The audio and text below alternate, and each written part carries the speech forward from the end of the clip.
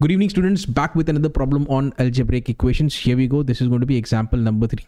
Let's do it. Very interesting one as it is based on imaginary roots, rather calculating the total number of imaginary roots. Okay.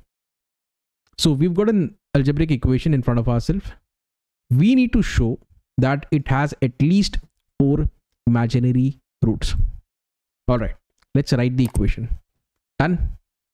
Okay there are two investigations that you guys need to carry out. The first investigation is you have to work out f of plus x, right? Simply replace x with plus x. What will happen? Sir, nothing will happen. No change will be there. The entire equation will be of the same form. Okay. If you watch this x to the power 7 has got positive sign. This 3 to the x to the power 4 has got negative sign. So let me write term by term signs. Okay. Plus minus then plus and minus. How many changes you can observe? Sir this is going to be the first change. This is going to be the second change from minus to plus and again from plus to minus. So there are as many as three changes. The idea is to uh, link this with the property. And that property is let me just show this to you very quickly. The property says the equation f of x equal to 0 cannot have more positive root than the changes of sign how many changes of sign that you observed. Sir uh, in f of plus x we encountered as many as three changes.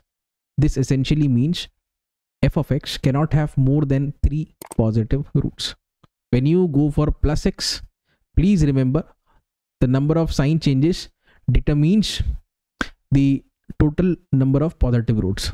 Basically here there were three changes in sign so you can say very very confidently that uh, we cannot have more than three positive roots cannot have more than three positive that roots. That means three is the maximum number of positive roots you guys can have. Secondly go for f of minus x. When you put a negative value over here these are the odd powers. Here the signs are going to change. As you can see this 2x cube now has a negative sign. This x to the power 7 now has a negative sign.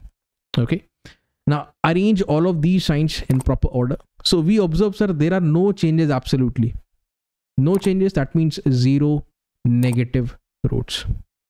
Okay. Remember these things. Uh, this, this property is very, very important. And now what you need to do is uh, remember this is the degree. Degree happens to be 7 and whatever the degree is that qualifies as the number of roots so here the degree is 7 number of roots are going to be 7 those roots can be classified into real category as well as the imaginary category. Let me write that. real plus imaginary. And even in the real zone, you've got positive roots and you've got negative roots. So that's why p plus n. Now the things are going to be very simple. You just need to plug in the value of the number of roots. The number of roots obviously is the degree over here. That is 7. 7 is equal to 3 plus 0 plus the imaginary roots. And you are going to get the value of number of imaginary roots as 4 at least please have to write this 4 at least. Okay